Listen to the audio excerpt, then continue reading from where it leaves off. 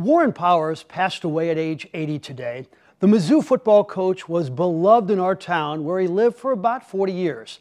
I interviewed him quite a few times over the years, and with the help of editor Bill Bennett, we take a look at his captivating life. This was a football coach. All he did at Mizzou is win. Seven seasons, five bowl games. Do you still diagram a play to win a football game? I would hope so if I had a right quarterback. Powers is football. He played and coached at Nebraska and won two national championships. He played six years for the Raiders and started in Super Bowl II. His coach you may recognize, Al Davis. The very first game Warren Powers ever coached at Mizzou was a 3 0 win against the defending national champion Notre Dame at South Bend. It was unreal. I mean, nobody could believe it. Shockingly, Mizzou made one of their worst decisions when they fired Warren. They wouldn't go to another bowl game in 13 years. Nice and rainy today, but we've got to get our walk in for sure.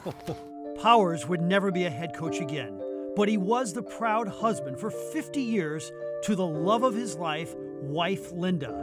And 10 years ago, when Warren was diagnosed with Alzheimer's, it was Linda who became an Alzheimer's spokesperson and, most importantly, an advocate for her husband. It's hard to go public, but I think that it's really important. Get emotional. Um, it's really important, Frank, that everybody know what's going on, not only with Warren, but other people. Could use some sunshine. Absolutely. What's he meant to you? What has he meant to me? My life, you know. Linda died a few months ago of brain cancer. And now the two are together again, without cancer and without Alzheimer's.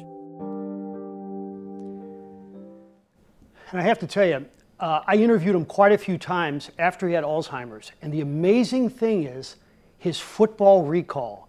He could diagram a play, he could remember a big upset victory. When you started to talk football, you could see the light in his eye. You could see that he remembered it. And uh, he was really a, a, classy guy and a great gentleman, and, uh, and we're going to miss them both. And I think a testament to him, the players who played for him loved him, love him still. Absolutely. Uh, we talked with Howard Richards today, uh, the All-American, who said that he was, you know, one of the most important influences in his life.